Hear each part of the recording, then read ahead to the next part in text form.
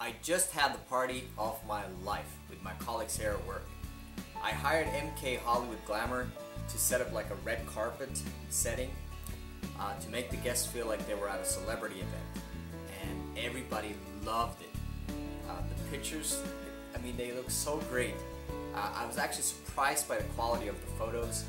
And I gotta say, the whole red carpet setup was so elegant. I mean, it looked real.